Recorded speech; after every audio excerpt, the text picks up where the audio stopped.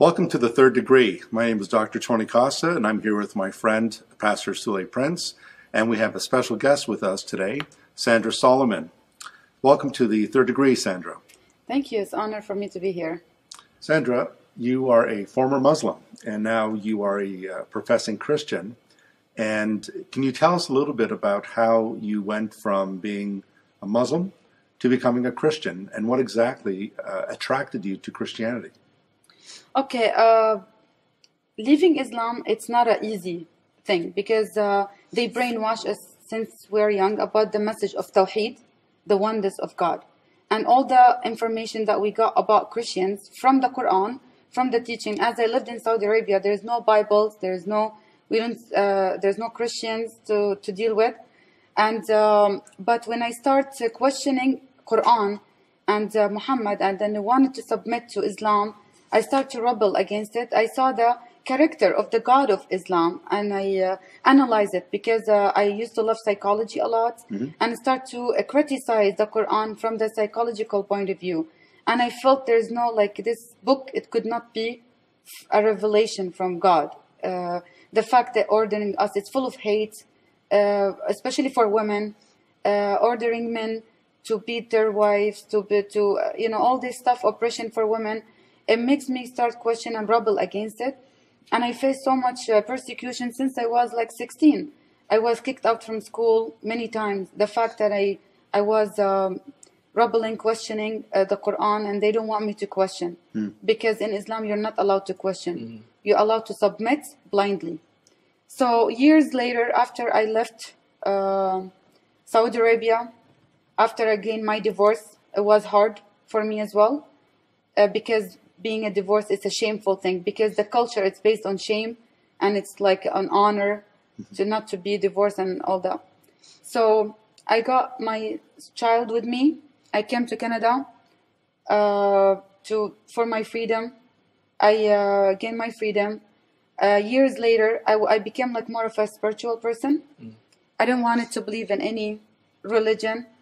Uh, Christianity for me, it was something, the last thing I will think about it because regardless, even when we leave Islam, we still believe in the oneness of God. And what they teach us in Islam, as the according the Quran and the teaching of uh, Muhammad, that you know the Christian are infidel, they worship three gods, and uh, they take uh, Isa, his name is Isa ibn Maryam, Isa the son of Mary. Uh, he's just a prophet like any other prophet. So it stays all these information. It will stay with us in our, subconscious, even if we leave uh, Islam. We don't jump right away to Christianity. It will be still far to think about uh, because again, it's uh, the devil, the satanic spirit that they want keep people away from the true message. Years later, I uh, find myself to become more spiritual. I start to do many meditations, questioning myself, who am I? What, what's my purpose in this life? It couldn't be fair for evil people to have the same destiny as the righteous people. Mm-hmm. It couldn't be fair as Muhammad, what he did, all the killing and the rape and all the terror that he did, he can his destiny would be the same destiny of a good person who would never commits any terror or any attack or any um, he was a loving mm-hmm. person or a good person mm-hmm. Right. or the people who's like you know i got you know uh, physically abused a lot. My brother used to um, physically abuse me. He uh, many times strangled like wants to kill me uh, as honor killing the fact i refused to wear the hijab. That's what So, your personal brother when I was my personal brother, he meant many times attempted to murder me, to kill me. Uh, if it wasn't for my grandmother, I would have been killed by now, just because I refused to wear the hijab. Anyway, when I came to Canada, I have the relief for myself to think, and uh, freedom from Sharia law, secular country. Uh, there is no uh, Sharia law. We're not under Sharia law constitution. So, um, in a time where I was um flipping on YouTube the story of Nujud Ali. She's a Yemeni girl. She was nine years old when they forced her into a marriage. Yes. She At was nine? raped At at, nine nine, years years, old? old. And uh, they forced her into the marriage. She was raped for weeks until she managed to run away from the husband. And uh, after that, I asked God when I saw the story and I'm like struggling spiritually. I, I prayed hard, like I didn't know God, who's God? Like I'm just praying for these little girls, for what's going on with the world. Like always the question myself, there's something going on with the human being in general, like uh, our, like the nature of why there's evil, why there's good and evil, and how can we be righteous, and how can I connect with God it through, not through a book, I don't want it to read a book. It never come my, cross my mind to read the, the Bible or go to any church or anything. I just wanted to connect with God in a personal uh, level, in a spiritual way. I always believe that there is a God, and He's a loving God. But uh, I, I wanted to have a spiritual relationship with Him. So when I prayed hard, I saw so many visions, and all of a sudden I'm thinking about the Messiah, Al Masih, in Arabic. All of a sudden I'm thinking of the Messiah, the Messiah, and I saw visions, Urshalim, the heavenly Urshalim, and I saw uh, like the uh, the devil in the Kaaba, and uh, how many killing in the Middle East, and many people are dying, and I saw the light, and uh, like I felt the presence of Holy Spirit. Something is telling me read the Bible. All of a sudden I'm dreaming about the Messiah, Jesus. I'm thinking of the Messiah. I didn't even know that his name is Yeshua in Arabic, which Wow. is Jesus. I'm thinking uh, his name is in the Quran Al Masih, the Messiah. So anyway, I went to the church. I got I it was a spiritual battle for like three nights. I, because I never saw uh, uh, visions. I never. Uh, this is something totally new to me. Okay. And uh, anyway, uh, I went to the church. I got the whole Bible. I read the whole Bible from Genesis to Revelation, Wow. all in three weeks. Wow. As I'm reading the book, I felt the, the presence of the Holy Spirit.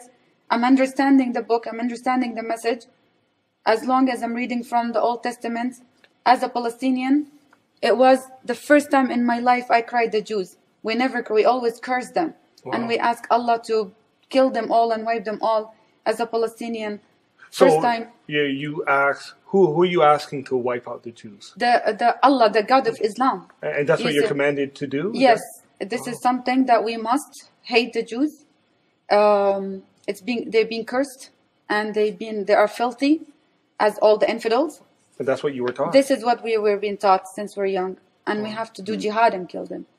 So I read the whole Bible when I came across the New Testament, and I'm starting to read the story of Jesus. His name is Yeshua in Arabic. Uh, and then I'm reading uh, the Sermon in the Mountain when he said, Love your enemy, pray for the one who persecutes you. When he said, And you shall know the truth, and the truth will set you free. Wow. And when he said as well, so many things teaching about love and peace, and as well as how he treat the women, Yes. especially especially the women.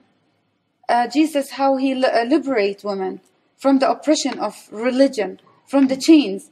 He he broke the chains, and he gave the women when they wanted to stone her. Uh, they he said, "Whoever never commits any sin, let them cast their stone first. That was like that's the true liber. That's he give her life, and it's about like I understand the message of the whole Bible is the message of salvation. And when he said, "I am the way, I am the truth, I am the life," he said, "I am the light of the world. Whoever follow me will never walk in the darkness."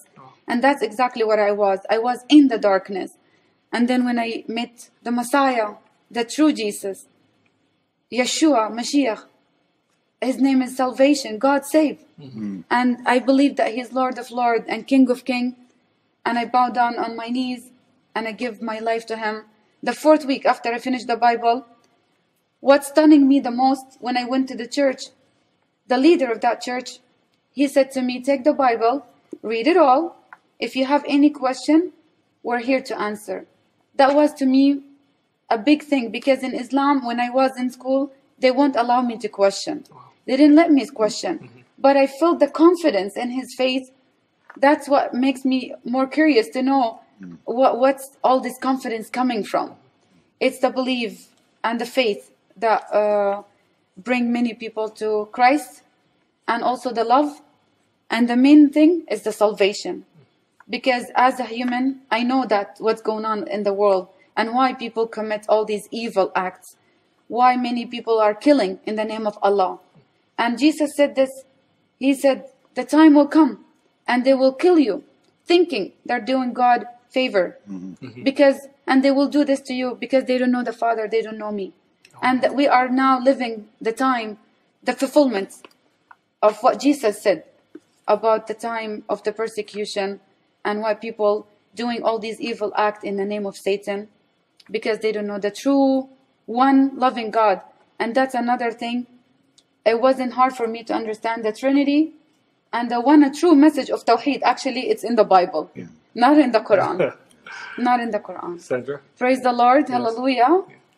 Yes. Thank you. i'm Thank so you so much. thank you. Thank you.